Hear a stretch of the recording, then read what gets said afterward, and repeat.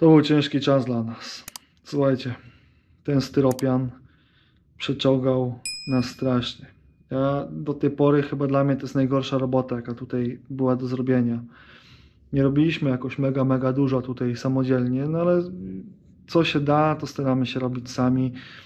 Wiadomo, że e, jakieś oszczędności dzięki temu się generuje, finansowe oszczędności, no bo czas jest zjadany na budowie, ale, ale rozmawiamy o oszczędnościach finansowych, a nie o tym czasie, bo czas każdy spędza jak chce.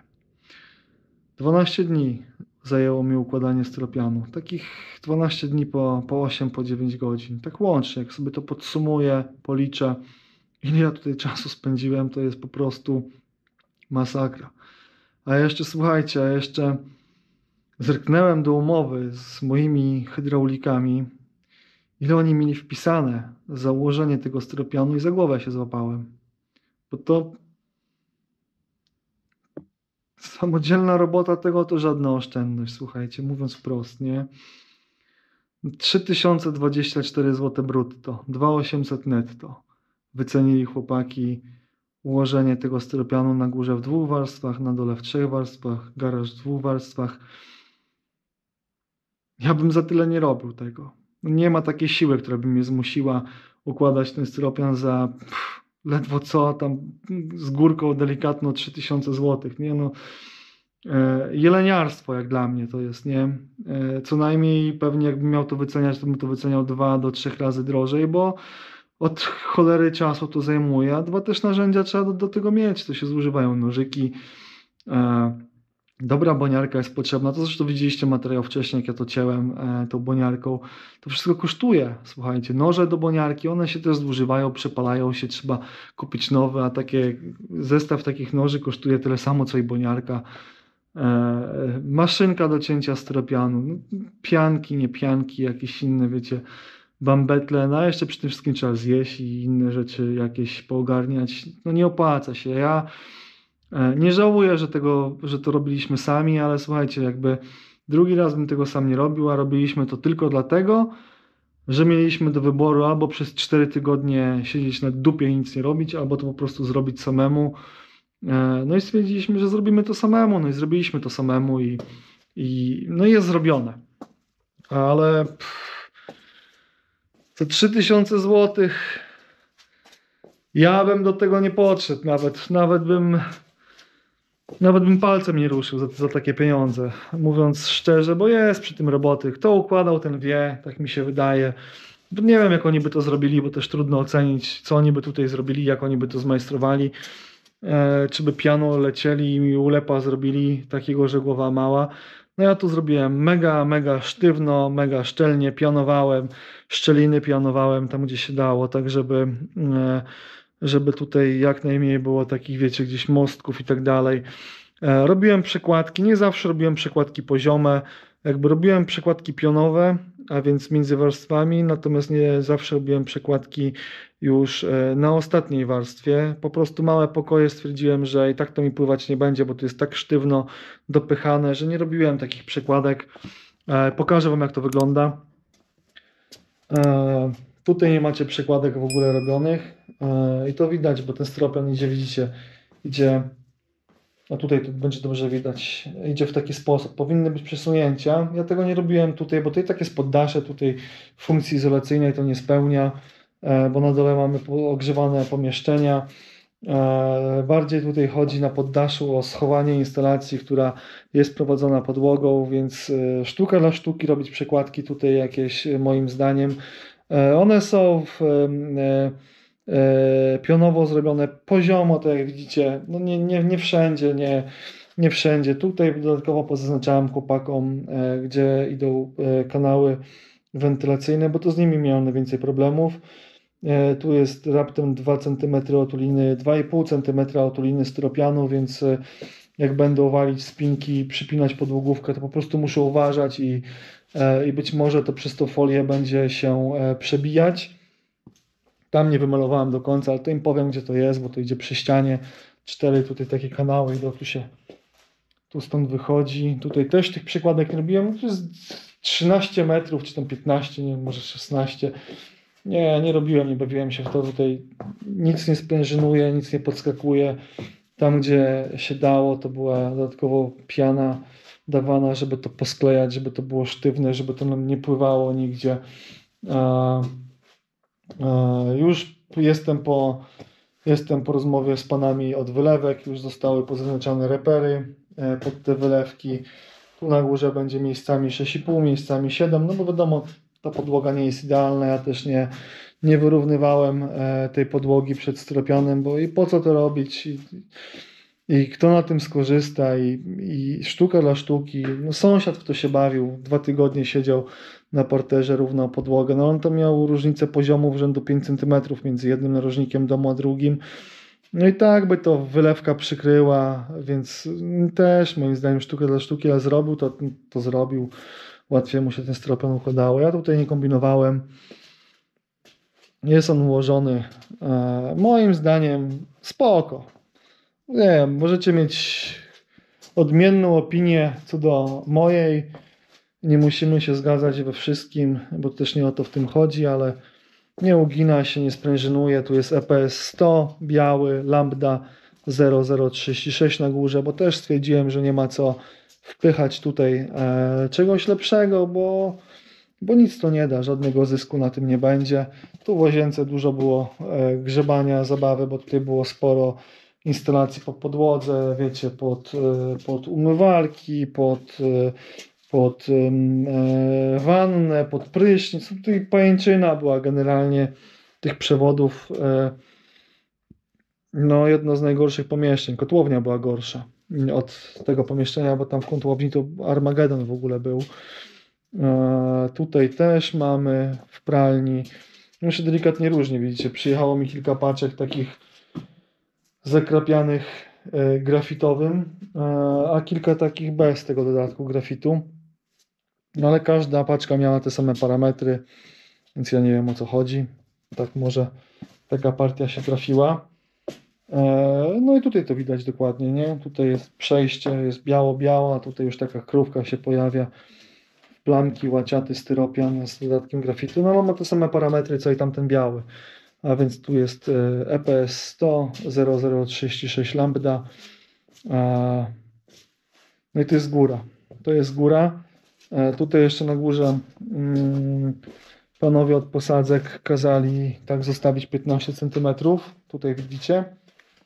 Tutaj stopień. Tu jest e, dodatkowo nasza, nasza wylewka. To są dwie warstwy. Dwie piątki kładłem. No i tu 15, bo tu jakbyśmy mocowali jakąś barierkę, to po prostu będzie wylewane tutaj e, aż dotąd, nie? E, I tak samo z przodu ten pierwszy stopień też ma, ma być taki, będzie dolewany, tutaj po prostu będą jakiś stelaż montować i, i to potem ogarniać. Na dole jest grafit, no i ten już ma parametry takie pro, e, chyba lepszego teraz na rynku nie ma styropianu. To jest lambda 0030 tu jest 3 razy 15, 3 razy 5, a więc łącznie 15 cm styropianu. Tu robiliśmy e, przewiązania, przekładki i poziomo i pionowo, no bo tu jest, to pomieszczenie ma zupełnie inny charakter. Tutaj największa powierzchnia, grzewcza też, duże przeszklenia. Tutaj izolacja od podłogi musi być na dobrym poziomie. Tu jeszcze, e, jak smarowaliśmy tą podłogę Sopro DSF 523, to tu jeszcze jest położona folia e, i ta folia jest wywinięta. E, wywinięta jest na ściany, a wywinięta jest dlatego, że jak smarowaliśmy Sopro, to tam zrobiliśmy ciągłość izolacji między papą pod postakami a naszą podłogą, więc tu już nie musieliśmy niczego wpychać pod papę. Wywinęliśmy tu folię, ona jest tutaj, może ją będzie trochę widać, gdzieś tam wystaje. Ja to poprzycinałem sobie, bo tu i tak chłopaki dylatację przykleją i, i, i, i potem, i potem te, ten jastryk cementowy, który wybraliśmy tutaj wyleją. Tutaj szło to szybko, ten dół poszedł mega szybko, łącznie może spędziliśmy na tym dole 3 dni pomijając kotłownię i garaż, no bo kotłownia i garaż to dodatkowe 2 dni. E, roboty. E, łazienka. Łazienka. No i gabinet. Tutaj przekładek nie robiliśmy. Tych e, e, poziomych są, są, na, e, są w warstwie pionowej, są przekładki porobione, bo tu, styr, tu styropian idzie w tą stronę, tak, pierwsza warstwa idzie w tamtą stronę, są porobione przewiązania, ale to jest na tyle też małe pomieszczenie, że nie, nie kombinowaliśmy tutaj z przekładkami e, poziomymi jeszcze i przesunięciami tego styropianu. To też jest za, zapionowane, to jest sztywniutko ogarnięte. Mm.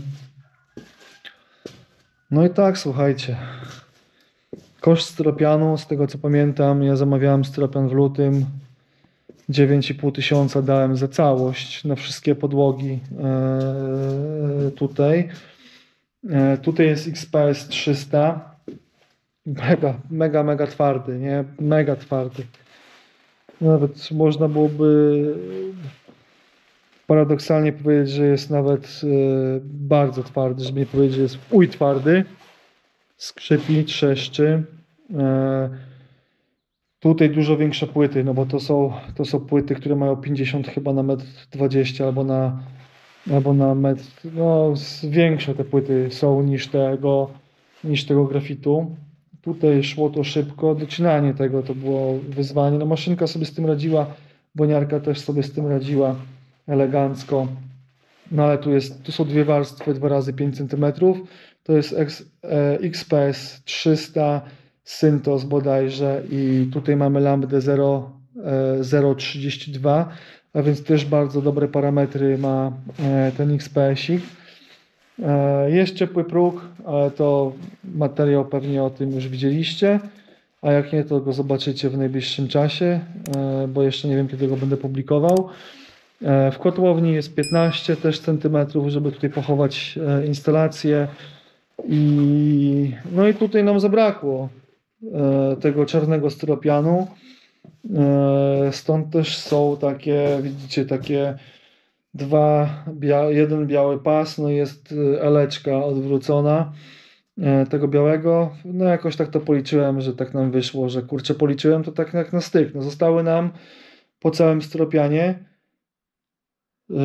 zero płyt grafitu i, i cztery płyty białego. E, Cztery płyty mam w garażu. Tutaj z góry nam zostało 6, 7 płyt nam zostało z góry, e, więc niecała paczka. Jakoś na górze to policzyłem lepiej, no ale w sumie dobrze to policzyłem, bo bardzo mało materiału zostało. Wykorzystałem właściwie cały, cały materiał, który zamówiłem, co do praktycznie sztuki. Cztery sztuki mi zostały białego APS-a i cztery sztuki mi zostały tego, słuchajcie, XPS-a. Nie wiem, na coś go wykorzystam. Może jakąś doniczkę zrobię e, dla żony kiedyś na kwiatki, taką fajną, termiczną, ciepłą. E, Będę myślał, co z tym zrobić, bo, bo to fajny materiał jest i akurat jakaś doniczka może kiedyś z tego powstanie. E, No tak jak mówiłem, 12 dni, 9,5 tysiąca złotych. Czasu nie liczę, nie wyceniam swojego, bo robiliśmy to. E, Robiliśmy to weekendami, e, robiliśmy to po tak zwanych godzinach, ale jak sobie sumuję wszystko, to wyszło 12 dni i nie polecam tej, tej roboty, bo, bo nie jest ona lekka. Znaczy, styropian jest lekki, ale boli wszystko. Plecy bolą, ręce bolą, nogi bolą, kolana bolą. No po prostu wiecie, schylania się, kucania. E, praca w pozycji półzgiętej e, nie jest niczym przyjemnym. E, tutaj przykładek nie robiliśmy, bo ten XPS ma, ma frezy. E, ma frezy e, i on jest przewiązany, e, przewiązany jest pionowo, natomiast poziomo nie jest przewiązany. E, Więc, więc, więc, no ale tu są frezy, tak jak mówiłem, tu jedna płyta nachodzi na drugą, na, na frez, więc plus jest przywiązanie jeszcze między warstwami. Jest mega sztywno. Jak macie czas, to róbcie to sami. Satysfakcji jest dużo, ale, ale no, ten czas zje wam ten styropian, a oszczędności są znikome, bo naprawdę majstry, którzy to chcieli układać, bardzo małe pieniądze chcieli za ułożenie tego, więc, yy, więc no, ja bym tego drugi raz nie robił. No chyba, że miałbym czas, to bym to pewnie zrobił, bo ja jestem typem człowieka, który nie potrafi na dupie siedzieć e, oglądać Netflixa, jak mam wolny czas, a nie koliduje mi to z biznesem, no bo też prowadzę biznes i nie zawsze sobie mogę pozwolić, No ale ja w weekendy nie pracuję. mm, e, Nie pracuję zawodowo, bo gdzieś tam fizycznie na swojej budowie e, e, pracuję, ale, ale słuchajcie, no każdy chyba podejmuje swoje decyzje. Ja wiem, że większość ludzi decyduje się na układanie tego samemu. My też tak zrobiliśmy. Żałować nie, nie żałuję, bo dzisiaj jak włożyłem tutaj ostatni kawałek, słuchajcie, to jest ten kawałek. To jest ten mały kawałek. Jak go włożyłem, to taki banan mi na buzi się pojawił, że to jest koniec i że już nie trzeba będzie do, do tego wracać, że, że głowa mała. Dobra. Jak Wam się materiał podoba, to będę wdzięczny za łapkę w górę. No i oczywiście za obserwację, bo to mnie motywuje do nagrywania tych materiałów dla Was.